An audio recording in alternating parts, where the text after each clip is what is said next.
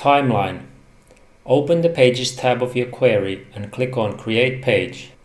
Now you will see the Query Page menu in front of you.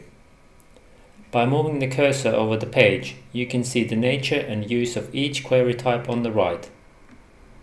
The timeline query type is one of the basic forms of future research.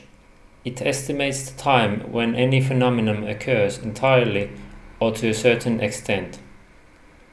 In addition to a single year, it is possible to evaluate a time frame that is two dates of which the first is the earliest possible date and the second being the latest possible. The timeline query type is used particularly in technology evaluations. Click on the option Timeline.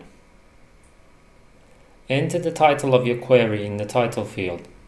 Write your question in the thesis field and write the explanation or the background information in the bottom text field if necessary.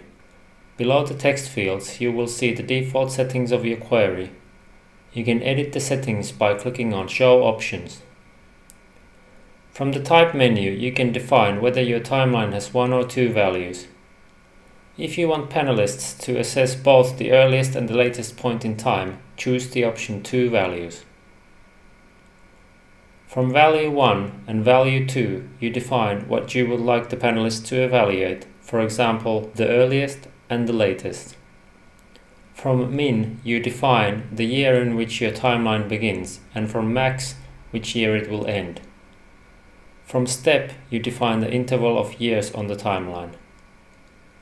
At the bottom of the page, you define if the question is visible and commentable and whether the conversation is also visible to other panelists.